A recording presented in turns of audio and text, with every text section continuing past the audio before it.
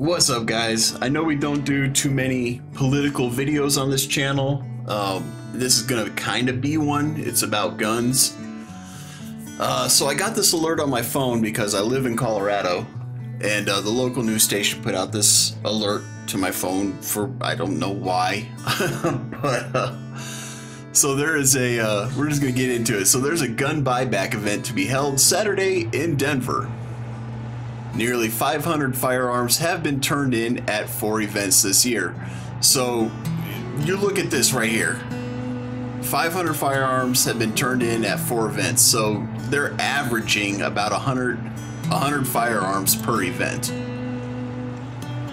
Uh, Denver, the fifth in a series of gun buyback events, will be held Saturday in Denver. The voluntary anonymous buyback will take place at Park Hill Golf Course in Denver on Saturday, July 16 from 10 a.m. to 1300. The gun buyback events are led by Denver City Council member Amanda Sawyer and Aurora at large council member Curtis Gardner in partnership with Colorado Springs nonprofit Raw Tools and the Denver Broncos with the goal of reducing gun violence. Event participants can place their unloaded weapons in the back seat or trunk of their vehicles where trained volunteers will access them at the drive-through event. The event's organizers said the weapons will be destroyed following ATF guidelines and participants will receive gift cards gift cards in exchange. Raw tools will melt down the guns and turn them into garden tools. At the first four events, nearly 500 firearms have been turned in. Organizers aim to host a total of eight events in 2022. Our communities have continued to be plagued by gun violence, especially among our youth, Sawyer said. The stories we have heard from these events demonstrate harm reduction in action, and I am proud to see this effort continue. These gun excuse me, these gun buyback events provide an opportunity for the community to turn in unwanted firearms, and the response has been fantastic, Gardner said. Our partnership with the City of Denver Raw Tools and the Denver Broncos continues to be an effective tool in reducing unwanted firearms and violence in our community. So basically, Gardner and Sawyer just repeated each other. Uh, but let, let, let's just delve into this a little bit deeper. Okay, so 500 firearms in four events, averaging 100 firearms they plan to do a total of 800 or 8 events, which means an average of 800 firearms will be turned in. And they're calling this a huge success. they, they're flat out calling it a success. Um, it's it's ridiculous. 800 firearms? That's not a success. That's mediocre at best. But this is what politicians on both the right and the left do, they manipulate the data to call something a success even though it's not really a success. Um, they would call one firearm being turned in a success. so, um, but that's not the problem. They're calling it a gun buyback. They're not buying back your guns. Understand that, guys. They cannot buy back something that they never originally owned. So it's not a buyback. This is theft. That's what this is. This is voluntary theft. These people who are doing this event, who are giving their guns away, they're allowing the government to steal their guns because you know damn good and well that these gift cards that they're getting don't equal anything close to the amount that they paid for these firearms. Nothing it's probably maybe 25% the value of the firearm. Maybe. Um, the, the gift cards I'm guaranteeing are probably about 100 bucks.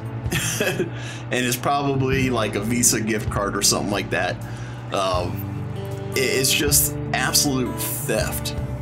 And people are going through with this. I mean, you can go through what what these people are doing instead of just going to a pawn shop and selling their firearm at a pawn shop where they'll get way more than what the government's given them, they're letting the government take the money.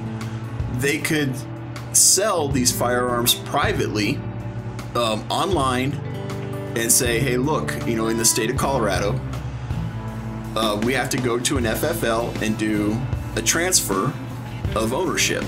And that's the law in Colorado. If you're going to sell your own firearm to somebody else, you have to do a transfer of ownership. Otherwise, you're breaking the law. Um, and that could lead to bad things. But um, you can get way, way more money for your firearm outside of just turning it into the government. Uh, so this is just stupid. The people who are doing this are dumb. Uh, on on a financial scope, they're stupid.